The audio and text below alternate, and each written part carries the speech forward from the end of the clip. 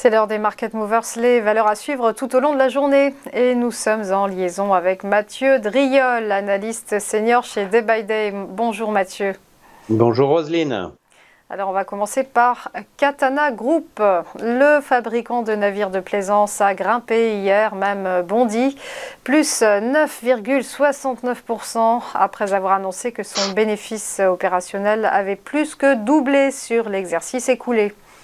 Oui, une euh, très forte réaction euh, des investisseurs à l'achat, ce qui ne fait que renforcer en fait la, tendance haussière de Katana Group, hein, qui a débuté euh, en, juin dernier par la sortie, par le haut d'un triangle ascendant. Le mouvement haussier ainsi déclenché et ma foi très bien construit.